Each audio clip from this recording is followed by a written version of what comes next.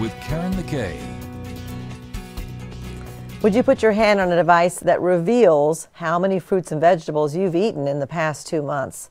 Well, the device is called the S3 Biophotonic Scanner, and it works because after digestion, carotenoids or antioxidants settle in the palm of your hand, and the device reads that number from your palm.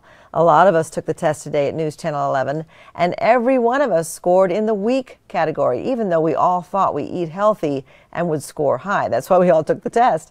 The problem for most people, according to Dr. Kathy Chauncey, a professor of nutrition at Texas Tech, is that it's not enough to eat a few favorite fruits and veggies regularly because the body needs variety. You get nutrients from a variety of foods, and the bigger your variety, the better your nutrition is. And when you look at these foods and all the colors, this has to do with plant chemicals. This is what helps us fight disease. You should have some of those colors in at least one meal every day.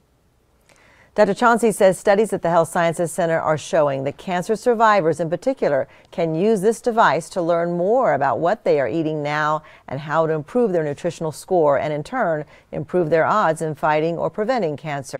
That measurement is going to give you risk factors for macular degeneration, cancer, diabetes, and heart disease.